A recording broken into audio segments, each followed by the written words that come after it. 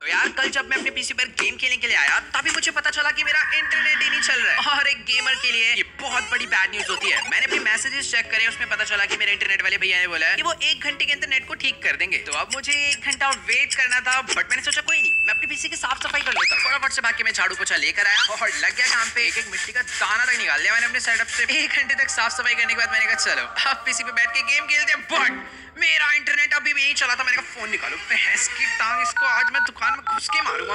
Hello? अरे भैया क्या सीन है यार? ये इंटरनेट कब चलेगा? अरे कल भैया ये आंधी बारिश में तार कट गया था अभी अभी दो घंटे में चला देंगे। देख लो यार कर दो जल्दी से। और अब मुझे दो घंटा वेट करना था तो मैंने कहा चलो कोई नहीं अपने बाकी काम निपटा लेता हूँ जब तक मैं। मैंने अपने नाखून काटे थोड़ा सा फुटबॉल भी खेला थोड़ी देर रस्सा टापा। पूरे दो घंटे बाद सारे काम फिनिश करके मैं अपने पीसी पे वापस आया और मैंने देखा इंटरनेट चल चुका है। बट जैसे मैंने गेम ओपन करी मेरी इलेक्ट्रिसिटी चली गई।